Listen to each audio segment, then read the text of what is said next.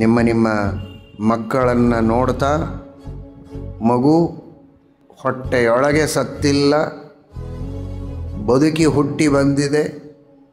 ಹುಟ್ಟಿ ಬಂದ ಮೇಲೆ ಕೆಲವೇ ದಿನಗಳಲ್ಲಿ ಕಣ್ಣು ಮುಚ್ಚಿಲ್ಲ, ಇನ್ನೂ ಆಟ ಆಡಿಕೊಂಡಿದೆ.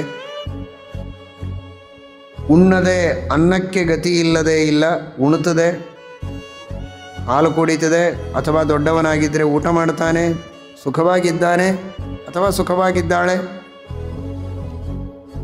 ಮಾತನಾಡಿಕೊಂಡಿದೆ, ಒಂದೊಂದನ್ನು ಪ್ರತ್ಯೇಕವಾಗಿ ಸ್ಮರಿಸಿ ದೇವರಿಗೆ ಅರ್ಪಣೆ ಮಾಡಿ ಎನ್ನುವುದನ್ನು ಕುಂತಿ ತೋರಿಸ್ತಾ ಇದ್ದಾಳೆ ಇದೊಂದೊಂದು ದೇವರು ಮಾಡಿದ ಅನುಗ್ರಹ ಉಪಕಾರ ಮಾತು ಕೊಟ್ಟ,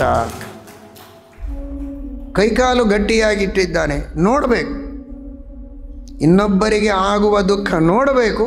ಅದು ನನಗೆ ಬಂದಿಲ್ಲ, ಈ ಮಕ್ಕಳಿಗೆ ಬಂದಿಲ್ಲ. ಹಾಗಾದರೆ ದೇವರು ಇದನ್ನು ಮಾಡಿದ್ದು ದೊಡ್ಡ ಅನುಗ್ರಹ.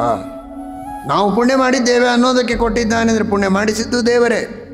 ದೇವರೇ ಪುಣ್ಯವನ್ನು ಮಾಡಿಸಿ, ಆ ಪುಣ್ಯವನ್ನು ತಾನೇ ನಿಮಿತ್ತ ಮಾಡಿಕೊಂಡು ಫಲವನ್ನು ಕೊಟ್ಟು ಅನುಗ್ರಹ ಮಾಡಿದ್ದಾನೆ ಅಂತ ನಿತ್ಯವೂ ನಿಮ್ಮನ್ನು, ನಿಮ್ಮ ಮಕ್ಕಳನ್ನು, ನಿಮ್ಮ ಇಷ್ಟಮಿತ್ರರನ್ನು ನೋಡಿ ಆ ಉಪಕಾರವನ್ನು ಸ್ಮರಿಸಿ, ಸಮರ್ಪಣೆ ಮಾಡಿ, ಮಾಡಬೇಕು. ಇದು ನಿಜವಾದ ಸ್ತೋತ್ರ.